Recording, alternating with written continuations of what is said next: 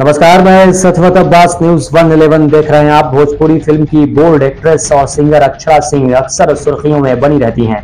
लेकिन इस बार अक्षरा सिंह की मुश्किलें बढ़ गई हैं। अक्षरा के पटना स्थित आवास पर कोर्ट में हाजिर होने के लिए पुलिस ने गुरुवार को इश्तेहार चस्पा किया है। इस मामले पर अक्षरा सिंह की तरफ़ से कोई प्रतिक्रिया अभी सामने नहीं आई है। पूरा मामला वैशाली के पूर्व विधायक मुन्ना शुक्ला के घर साल 2021 में हुए। एक कार्यक्रम से जुड़ा है। खबर के मुताबिक भोजपुरी एक्ट्रेस अक्षरा सिंह को नवंबर 2021 में पूर्व विधायक और बाहुबली मुन्ना शुक्ला के घर पर उनके भतीजे के उपनयन संस्कार में आमंत्रित किया गया था। इस दौरान अक्षरा सिंह के स्टेज शो के दौरान फायरिंग का वीडियो वायरल हुआ था। जिसके बाद वैशाली पुलिस ने वायरल वीडियो के आधार पर पूर्व विधायक मुन्ना शुक्ला, उनकी पत्नी अनु शुक्ला बॉडीगार्ड और भोजपुरी फ़िल्म अदाकारा अक्षरा सिंह के खिलाफ केस दर्ज किया था।